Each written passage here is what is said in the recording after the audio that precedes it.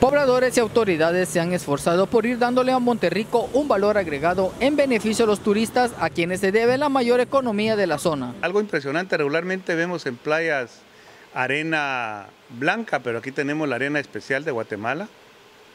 Todo el extranjero se asombra de ver el tipo de arena, las olas, el lugar, es un lugar acogedor. Monterrico ahora es un lugar totalmente diferente, transformado, hay seguridad, hay servicios de todo tipo. Dentro de las alternativas que tiene el visitante es poder realizar un tour para ver aves migratorias en el canal de Chiquimulía, así como la liberación de tortugas parlamas y el avistamiento de ballenas. Hacemos liberaciones por las tardes a las 5 de la tarde y eh, eh, damos palamitas para que la liberen. Eh, les cuesta 10 que sale cada palamita. Ese dinero sirve para, para tener más dinero para seguir comprando más huevos.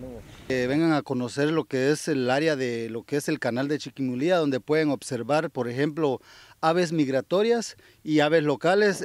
por ejemplo, dentro de lo que es el ecosistema van a poder conocer las clases de aves que hay, manglares. La invitación es ahora para que visite este lugar paradisiaco y pueda con ello apoyar la economía del sector. Somos parte de ello y le invitamos a que venga a disfrutar a Monterrico. Es un lugar bellísimo de Guatemala. Lo esperamos. Desde Santa Rosa por una Guatemala en paz, Carlos Paredes, Noticiero Guatevisión.